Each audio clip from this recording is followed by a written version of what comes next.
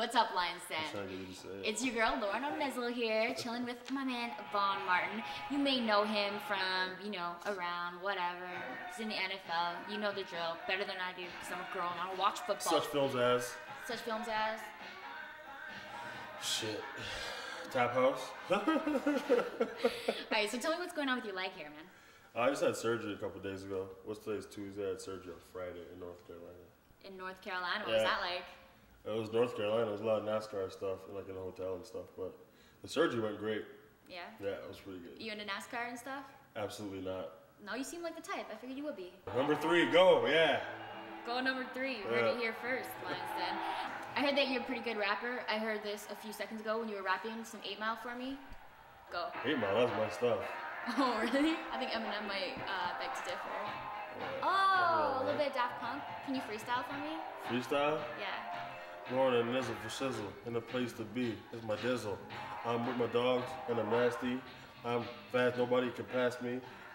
Yeah, it's true. He's it was alright. No, that was good. That was way I'm better on than I could do. Percocet. I got some hot and ice. You ain't even heard of me yet.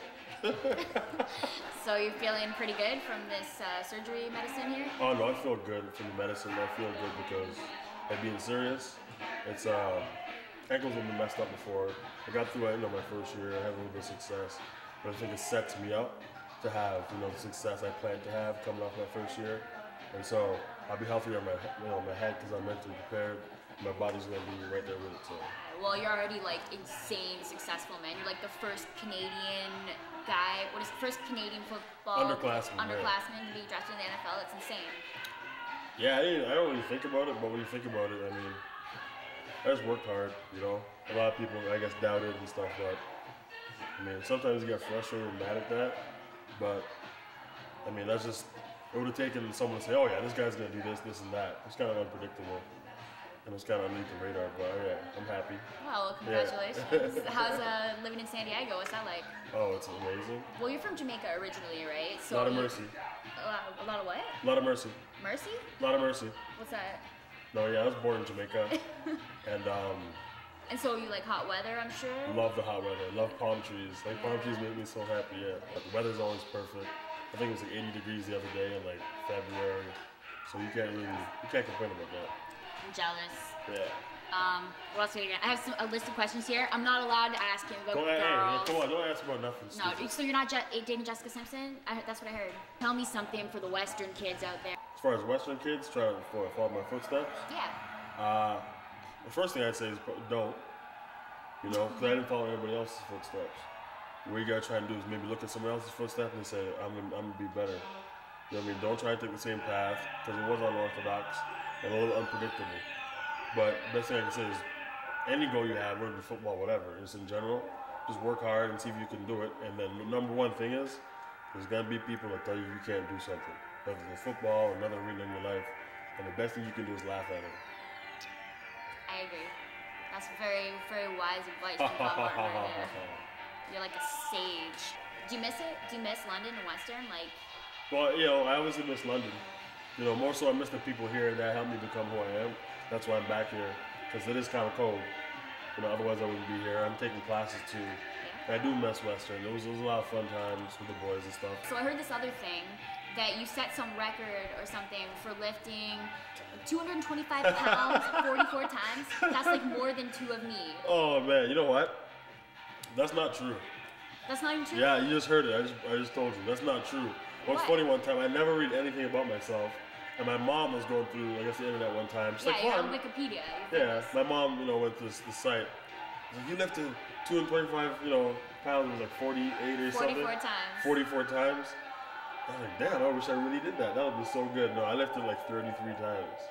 Oh, But it was- still 225 pounds 33 It was gangster though how I did it. Yeah, Like, I walked in there, got my jacket on. They said, oh yeah, you can warm up here. I said, I'm not warm up. I'm tired. I need to go home. It was a long workout. Went out there, hit it 33 times, racked it, left. I didn't rack it, it fell on my chest, then I left after 33 times. That's pretty impressive. because you lift me 33 times?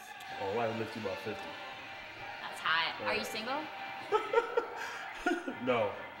Don't ask me that. all right, all right. You were there for what, four years? I signed a four-year contract, yeah, as a rookie. And then what do you want to do after that? Play more football. You're a big guy, and I feel little next to you. What can I wear to be bigger if I were? Fall risk. What? Um, what can you wear to be bigger? yeah, like if I want to be big like you. Do you have any football advice? Uh, get some Timberlands maybe. Some uh, some Timberlands. Gotta get a fitted hat.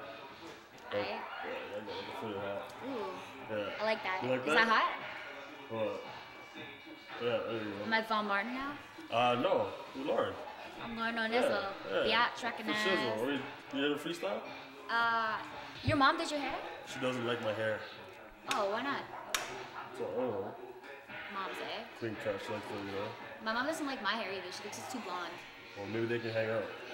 If you have a message for all the guys at Lions Den who are watching you, your little fans of Western Land, what do you want to say to them?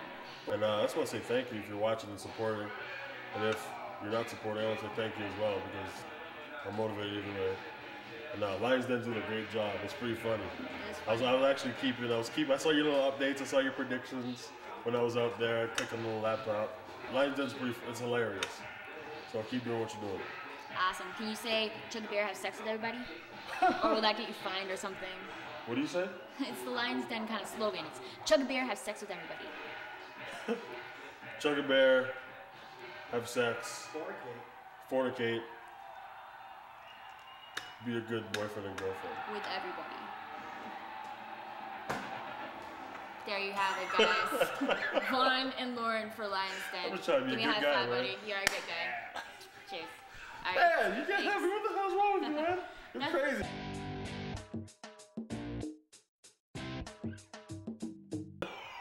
stop. stop, stop, stop, stop, stop.